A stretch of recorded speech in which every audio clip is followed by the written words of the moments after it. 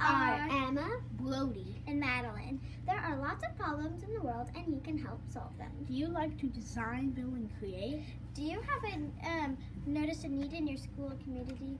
Do you have an idea about how to fix this need? Last year's winning project was a mobile homeless shelter. Submit a project to the STEAM Expo happening June 6th, and your project could be a, could win a great prize.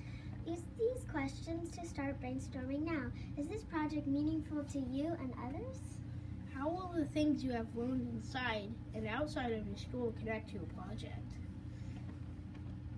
How will you become an expert for your project? How will you share your idea with the community? How is your project innovative and unique? For more information about how projects will be scored, check out this rubric found by visiting the URL on your screen. Ask questions to get feedback and support on your project by joining a reminder. There are three ways to join. Ready to get started?